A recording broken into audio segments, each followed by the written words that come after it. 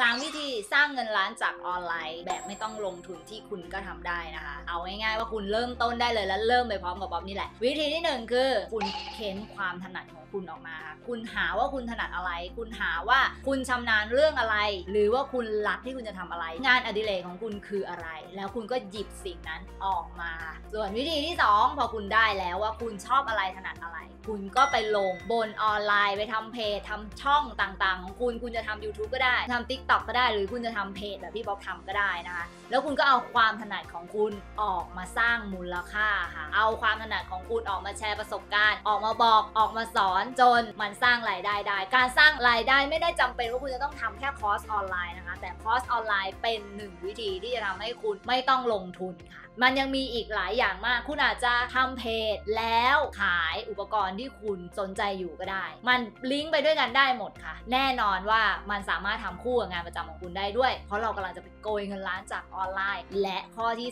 3 คุณต้องทำให้มันเป็นธุรกิจค่ะ เพราะถ้าคุณทำแบบเล่นๆ เงินมันก็จะมาเล่นๆ แต่ถ้าคุณคิดว่าสิ่งที่คุณกำลังทำมันคือธุรกิจแล้วมาทำให้คุณอัพมูลค่าเพิ่มมันทำให้คุณสร้างเป็นรายได้ออกมา คุณจะสามารถสร้างและโกยเงินล้านจากออนไลน์ ได้ง่าย ๆ แบบที่คุณยังไม่ต้องใช้ทุนและคุณเริ่มต้นได้เลย เอาเป็นว่า 3 ข้อนี้แล้วลองกลับไปทบทวนตัวเองนะคะ เขียนออกมาก็ได้ลิสต์ออกมาก็ได้ว่าคุณเริ่มต้นจากอะไรได้เลย โดยที่คุณไม่ต้องใช้ทุน เพราะข้อดีของออนไลน์คือไม่มีค่าเท่าที่โอเคไหมคะแล้วเดี๋ยวไว้เจอกันใหม่คลิปหน้าวันนี้ไปแล้ว บ๊ายบาย